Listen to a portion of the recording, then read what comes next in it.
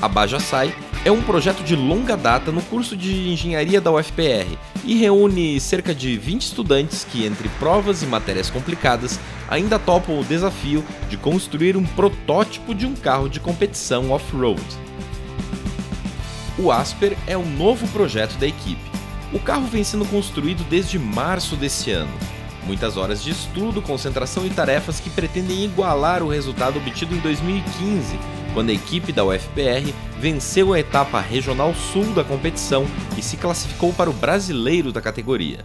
As maiores dificuldades é meio que as mesmas do, dos mesmos anos, assim, recurso financeiro, principalmente com a situação atual do país, e também a parte de experiência dos membros da equipe. É bem, bem difícil de conciliar a graduação, o conhecimento das pessoas, a rotatividade dentro da equipe, então manter uma linearidade. O Baja, na verdade, é uma grande família. Eu acho que com o tempo a gente vai começando a interagir com as pessoas, vai se conhecendo melhor e isso vai ajudando até no trabalho. A, a nossa, a, o nosso entrosamento, né?